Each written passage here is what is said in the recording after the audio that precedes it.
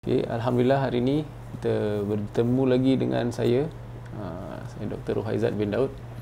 Kepakaran saya ialah membantu kaum lelaki dewasa dan kanak-kanak Untuk bersunat dengan cepat, selamat dan selesa Bagi mendapatkan burung yang sihat, bersih dan menjadi idaman wanita. Uh, Jadi hari ini saya nak kongsi lah satu pengalaman. Pengalaman saya selama lebih kurang uh, lima tahun Menyunatkan laki-laki dewasa dan kanak-kanak dalam minggu lepas ada satu orang pakcik lah. Uh, pakcik uh, berumur lebih kurang 65 tahun.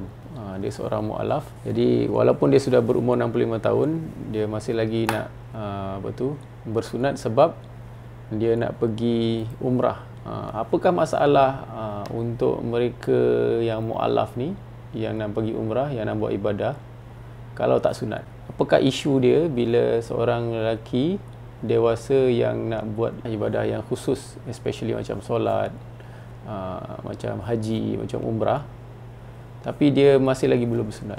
Uh, jadi masalahnya ialah sekiranya kulit-kulit masih ada di hadapan ada kebaharan kalian yang air kecing tu dia bertakung kat situ.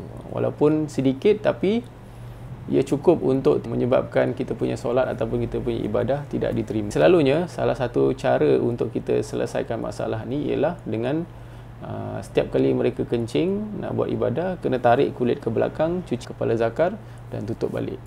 Cuma masalahnya jika ini uh, kerap dilakukan uh, ada kemungkinan sampai satu tahap tu dia menyebabkan mereka rasa tidak selesa lah.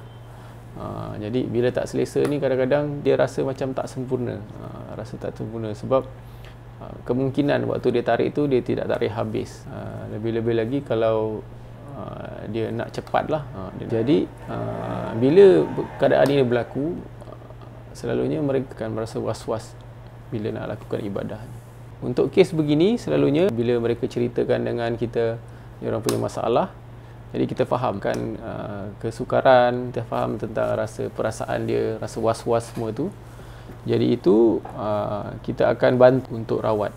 Uh, adalah jadi lebih teruk sekiranya uh, mereka ni mengalami fimosis. Fimosis itu dia punya kulit tak boleh tarik. Uh, jadi tak boleh tarik, langsung dia tak boleh cuci di dalam. Jadi itu akan menyebabkan lebih besarlah risiko dia untuk dia tidak uh, sah dia punya solat dia ataupun dia punya ibadah dia. Bila mereka datang, uh, selalunya kita akan explain lah apa yang berlaku. Selalunya kita explain kepada dia Ah, kalau tak sunat ni menyebabkan tidak bersih dan najis di kepala zakar daripada air kencing kita yang tidak dicuci dengan bersih.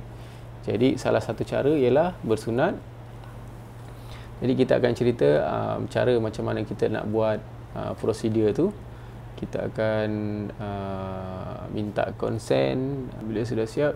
Selalunya luka akan mengambil masa satu bulan untuk sembuh tetapi selepas dua minggu dia punya uh, jahitan dia akan putus sendiri. insyaAllah sekiranya anda mengalami masalah yang sama penat-penat buat ibadah tapi rasa was-was tidak tahu sama ada uh, ibadah anda diterima atau tidak uh, disebabkan tidak sunat uh, datang. Datang kita boleh bantu untuk tengok kita boleh bantu untuk berikan uh, apa tu consultation ini akan memberikan anda lebih keyakinan daripada kurang keyakinan uh, nak waktu nak buat ibadah sebelum sunat kepada rasa lebih yakin, rasa lebih tenang dan rasa lebih selesa lah buat ibadat untuk mendapatkan keredaan Allah.